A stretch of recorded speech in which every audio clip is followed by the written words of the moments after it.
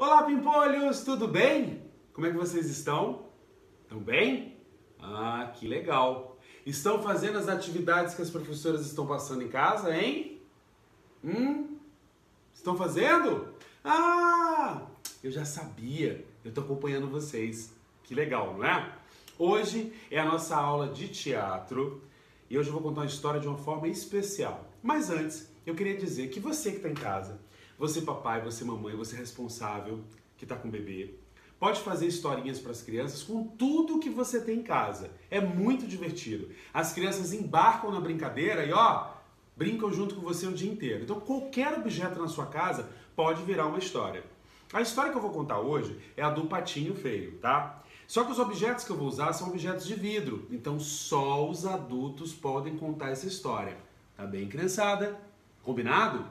Mas vocês podem contar essa mesma história com outros objetos. É, um brinquedo, isso mesmo, um ursinho de pelúcia, uma roupa, isso, potinhos de plástico, ou seja, qualquer coisa que você tem em casa e que a sua imaginação ajude você a contar uma história. Então vamos lá? Mas vou lembrar mais uma vez: a historinha que o tio Carlos vai contar hoje não pode ser contada por crianças do jeito que eu vou contar. Essa aqui vocês vão assistir e depois vocês vão fazer em casa com outros objetos. Tá certo? Então vamos lá? A história de hoje é O Patinho Feio. Quem conhece a história do Patinho Feio? Levanta a mão aí. Ah, você conhece? Então você vai me ajudar a contar, não é? Era uma vez, num sítio bem distante, uma, uma mamãe patinha. A mamãe patinha era muito feliz no sítio. E ela queria muito, muito, muito ser mamãe, ter filhotinho, sabe? Então o que, que ela fez? Ela colocou cinco ovinhos. Um, dois, três, quatro, cinco. Não é isso? Cinco ovinhos, né? E ela ficou esperando esses ovinhos chocarem. É, porque de dentro desses ovinhos aqui iam sair patinhos lindos. Ah, que fofo, não é? Então, a nossa mãe patinho ficou durante, ó, um bom tempo, dias e dias, olhando os seus ovinhos para ver se iam nascer os seus filhotes. Até que chegou o dia dos filhotes nascerem. E olha o que aconteceu. O primeiro ovinho chocou. E desse ovinho, ah, nasceu um patinho tão lindo, olha. O segundo ovinho também chocou. E olha, saiu outro patinho muito bonitinho. Vamos pro nosso terceiro ovinho. Ele chocou também, ó. Quebrou o ovinho e nasceu o quê? Mas um patinho, é que bonitinho. E o quarto ovinho, ó. Ele chocou também, nasceu um um patinho lindo. Mas o último ovinho demorou de chocar. E a mamãe patinho ficou muito nervosa, muito nervosa. Afinal de contas, o, o ovinho que ela tanto queria que nascesse o filhotinho, não tinha, né, aberto, não saiu nenhum pintinho lá do, nenhum patinho lá de dentro. O que aconteceu? Passaram-se algumas horas, o ovinho também instalou e nasceu um patinho.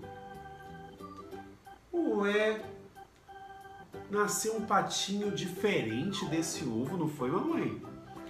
Então, a mamãe ficou muito preocupada com esse patinho, porque ele era muito diferente dos outros. Mas ela amou ele assim mesmo. Os irmãozinhos dele, os quatro patinhos, começaram a caçoar dele. Ah, você é um patinho muito feio, você não merece estar entre nós. Ah, você é muito diferente, você não deveria estar aqui. Você é muito feio, não era para você estar aqui, viu? Ele é feio, o nome dele é Patinho Feio.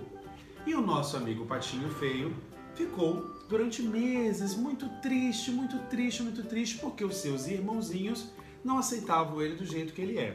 Bom, certo dia, o Patinho Feio ficou muito cansado de sofrer com a mamãe e com os filhinhos, né?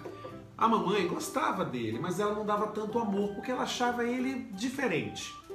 Então, o nosso querido patinho, feio, resolveu ir embora do sítio. É, sozinho, sozinho, sozinho, sozinho.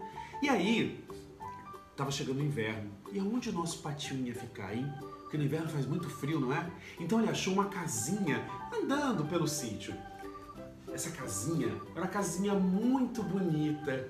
E dentro dessa casinha morava uma família. Ah, ele foi tão querido nessa família. Ele foi tão amado nessa família. É, ele ficou lá durante muito tempo com essa família. Mas nessa casa morava também um gato. E esse gato era muito chato. Era um gato muito ciumento. Era um gato que não queria que outro animal ficasse na sua casa. Então ele falou assim: Pato, saia daqui, você é muito feio! E assim aconteceu. O nosso amigo Patinho Feio, mais uma vez, foi abandonado, né? Porque a família quando ele foi embora, não cuidou dele. Então nosso patinho vagou, vagou, vagou, vagou, vagou, até que encontrou um cantinho assim, sabe, perto de um lago e ficou lá durante a primavera. Sim, porque na primavera, como já estava tudo quentinho, ele já poderia ficar na rua, pegar os seus alimentos, não é? Então ele resolveu dormir nesse cantinho. Só que durante esse tempo que ele estava dormindo, ele cresceu. É, ele ficou um pouquinho maior. E ele resolveu então ir até o lago que estava próximo, tomar um pouquinho de água, não é?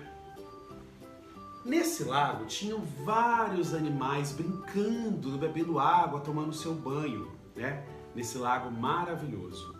E quando o patinho chegou no lago, que ele olhou o seu reflexo no lago, olha só, crianças, o que aconteceu. Ele viu que ele havia se transformado. Olha, ele ficou maior, mais forte, com as penas mais compridas, o bico também mais bonito. Ele ficou muito, mas muito maior que os seus irmãos patinhos. Ele inclusive ficou maior que a mamãe patinho. Ou seja, quando ele olhou no lago, ele descobriu que na verdade ele não era um patinho feio, ele era um lindo cisne. Sim, um cisne branco, lindo, sabe? Então, quando ele se viu na água, que ele levantou os olhos, ele viu que aonde ele estava tinham vários cisnes assim como ele. E que falaram: Nossa, mas que cisne bonito, mas que cisne, cisne lindo. Nossa, olha as asas dele como são bonitas, mas que bico lindo. Então ele viu que ele não era diferente e que ele não era feio. Ele simplesmente não estava no lugar onde ele deveria estar. Olha que coisa linda, né? Então vou trazer nossos personagens aqui, vou tirar o nosso lago para a gente rever eles, tá? Esse aqui é o nosso cisne, né? Aqui é o nosso cisne quando era criança, que no caso ele era o patinho feio. Aqui eu tenho a mamãe pata, tá vendo? E os seus cinco filhotinhos, tá? Olha que legal. Essa história foi muito fácil de contar porque o tio Carlos usou os objetos da cozinha, mas todos são de vidro. Então essa história aqui só pode ser contada por um adulto. Mas você pode contar essa e outras histórias com qualquer instrumento, qualquer objeto que você tem em casa. Um controle remoto, é, da sala, brinca de aviãozinho, com seus brinquedos, olha que legal, com seus ursinhos de pelúcia, com os livros, e aí você pode contar uma história para o papai e para a mamãe, tá bom? Então essa é a história do patinho feio que virou um lindo cisne, tá? Ele viveu feliz para sempre com a família cisne e a mamãe patinho também viveu feliz para sempre com seus filhotinhos que se tornaram patos também grandes e lindos. Gostaram da história? É? Então faz o seguinte, Inventa uma história legal com os objetos que você tem em casa e junto com o papai e a mamãe ou o responsável, Conta essa história e manda pra gente, tá? Eu vou adorar ver a história que você também inventou, tá bom? Então essa foi a aula de teatro de hoje. Eu espero que vocês tenham gostado muito. Eu tô com muita saudade, mas muita, muita saudade mesmo. E olha, já já a gente tá de volta. É, porque já já esse vírus tá indo embora e a gente vai voltar a se ver de novo. É isso? Então, ó, grande beijo para você. Eu espero que você tenha se divertido com a nossa história e até a próxima, tá? Tchau!